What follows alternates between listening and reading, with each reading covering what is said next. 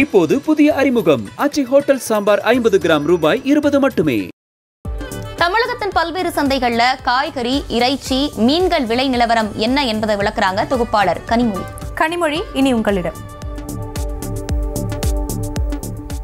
ஒட்டஞ்சத்திரம் காந்தி காய்கறி சந்தையில் தக்காளி கிலோ முப்பத்து மூன்று ரூபாய்க்கு விற்கப்படுது. சின்ன வெங்காயம் கிலோ ஐம்பத்தஞ்சு ரூபாய்க்கு விற்பனை செய்யப்படுது. அதே மாதிரி பீட்ரூட் கிலோ இருபத்தஞ்சு ரூபாய்க்கும் கத்திரிக்காய் கிலோ முப்பத்தஞ்சு ரூபாய்க்கும் விற்கப்படுது.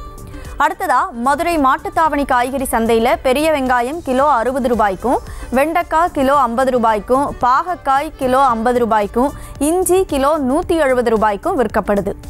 தொடர்ந்து பாளையங்கோட்டை மகாராஜா நகர் உழவர் சந்தையில் புடலங்காய் இருபத்தி நாலு ரூபாய்க்கும் முள்ளங்கி இருபது ரூபாய்க்கும் உருளைக்கிழங்கு நாற்பத்தி ரெண்டு ரூபாய்க்கும் கேரட் அறுபத்தெட்டு ரூபாய்க்கும் விற்கப்படுது.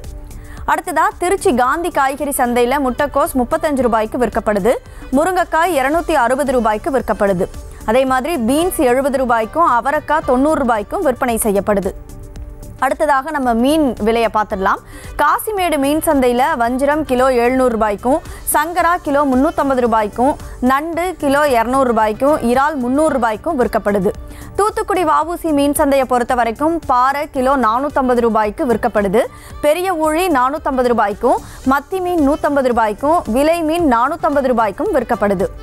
இறைச்சி விலையை பொறுத்த வரைக்கும் மதுரை நெல்பேட்டை இறைச்சி சந்தையில் ஆட்டுக்கறி கிலோ எட்நூற்றி அறுபது ரூபாய்க்கு விற்கப்படுது. பிராய்லர் கோழி நூற்றம்பது ரூபாய்க்கும் நாட்டுக்கோழி கிலோ ஆறுநூறு ரூபாய்க்கும் விற்கப்படுது. நன்றி கனிமொழி. இப்போது புதிய அறிமுகம். அச்சி ஹோட்டல் சாம்பார் ஐம்பது கிராம் ரூபாய் இருபது மட்டுமே. செய்திகளை உடனுக்குடனும் துல்லியமாகவும் தெரிந்து கொள்ள சப்ஸ்கிரைப் பண்ணுங்க.